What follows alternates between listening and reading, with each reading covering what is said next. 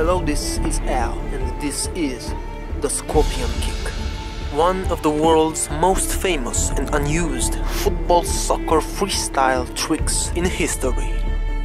The Scorpion Kick is a very special, unique skill which requires a lot of coordination, feel, and timing.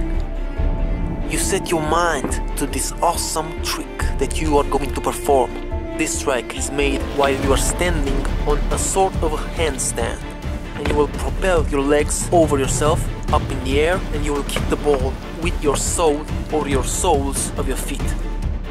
You see the football coming towards you. That is the moment where you throw yourself on a handstand, throwing your legs up. From that moment on, it's just a leap of faith in your own approximation of the ball's trajectory. This is it, there's no going back. If all calculations were right, that will be one magnificent strike, the scorpion kick.